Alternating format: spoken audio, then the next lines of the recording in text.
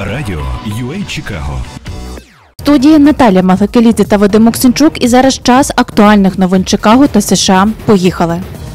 Розпочнемо з теми, яка болить для Сполучених Штатів. Де Сантіс вирішив відправити в Техас нацгвардійців Флориди. Повідомляють у Фокс. Губернатор Флориди заявив, що настав час зупинити вторгнення на нашому південному кордоні. Рон Де Сантіс ухвалив рішення відправити в Техас тисячу нацгвардійців, щоб допомогти місцевій владі. За словами Де Сантіса, у Джо Байдена є можливості закрити кордон просто зараз. Однак президент США цього не робить, бо йому бракує політичної волі, впевнений губернатор. Представник Флоридської Нацгвардії сказав, що спочатку до штату самотньої зірки відправлять 100 військовослужбовців, а згодом до них долучиться решта 900 колег. Це перший випадок розгортання гвардії штату за його межами.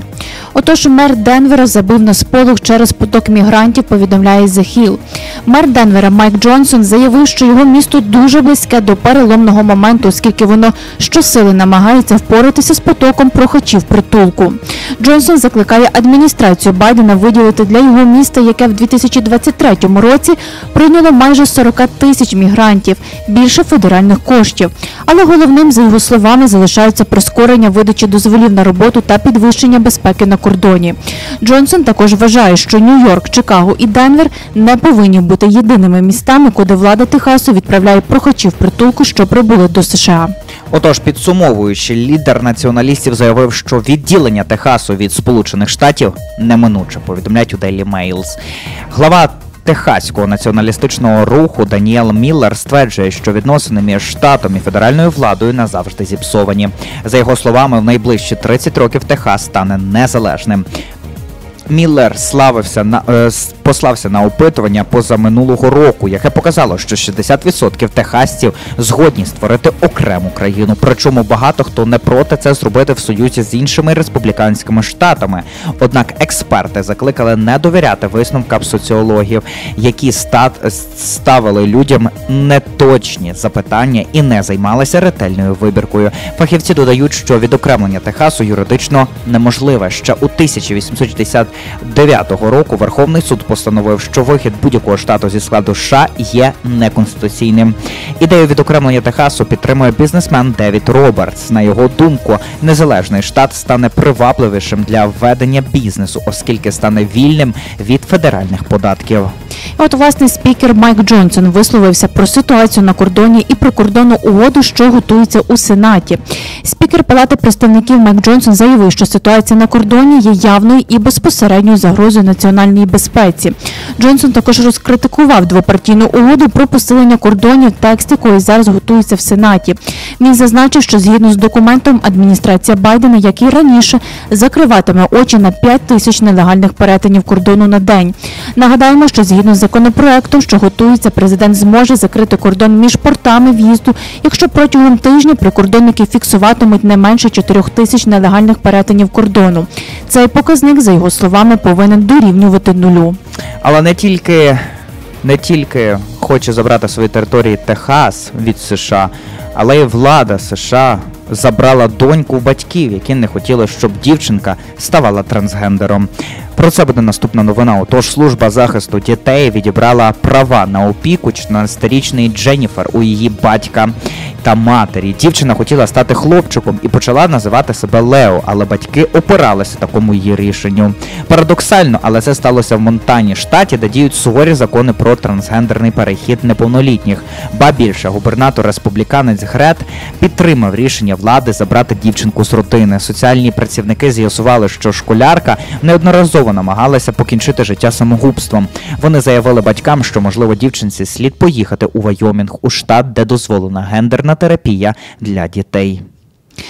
Тим часом у Портленді оголосили надзвичайний стан через важку ситуацію з наркоманами, повідомляють ABC. Влада Орегона оголосила, що в центрі Портленду на 90 днів вводиться режим надзвичайного стану через фентанілову кризу.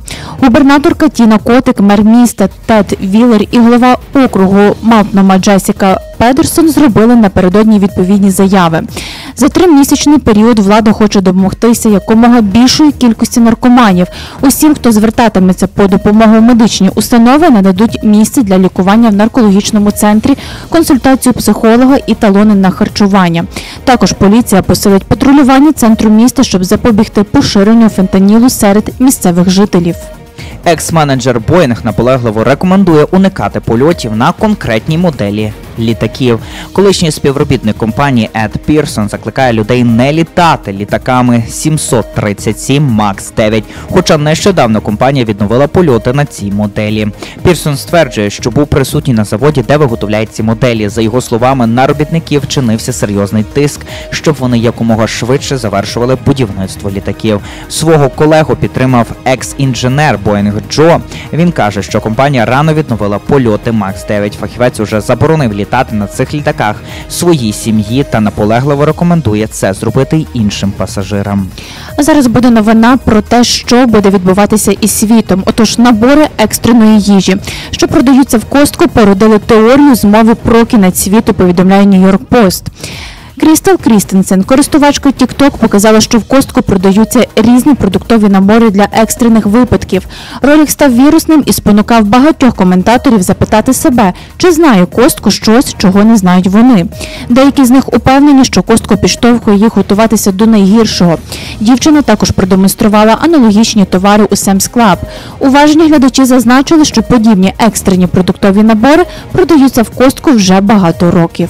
А от в Ілліної хочуть заборонити поліції затримувати водіїв за певні порушення. Законодавці Ілліною внесли на розгляд законопроєкт, який заборонить поліції зупиняти водіїв, які перевищують швидкісний режим на 25 миль на годину. Також копам не можна буде зупиняти автомобілі з відсутніми номерами, знаками, надмірним тонуванням е, скла, розбитими фарами, дефектами дзеркал і, звісно ж, двірників і так далі. Водії, не пристебнуті ременями безпеки, також не вважатимуться порушниками. Крім того, якщо водіїв користуються неправильною смугою руху, він також не може бути зупинений. Автор законопроєкту демократ Джастін Слоурер також є співавтором скандального законопроєкту Safety, який набув чинності у вересні і скасував в Ілліної заставу готівкою. Губернатор Каліфорнії зіткнувся з наслідками своєї політики щодо боротьби зі злочинності. Губернатор Золотого штату Гевін Ньюсон розповів під час прес-конференції у Zoom, що став свідком крадіжки у магазині Target. Коли він запитав у співробітниці магазину, чому вона не зупинила крадія, та не та не усвідомивши, що перед нею стоїть Ньюсон, звинуватила в тому, що сталося губернатора. Через через мить співробітниця Target все ж таки впізнала губернатора і попросила зробити фото. Але Ньюсон відмовив, попросивши викликати до нього менеджера, щоб, мабуть, поскаржитися на те, що злодія не зупинили. Губернатор обурився тим, що він повинен витрачати 380 доларів, щоб сплатити товар, у той час як будь-хто може піти з накраденим, не зустрівши опору. Нагадаємо, що в Каліфорнії крадіжка на суму 950 доларів не є злочином. Радіо UA Чикаго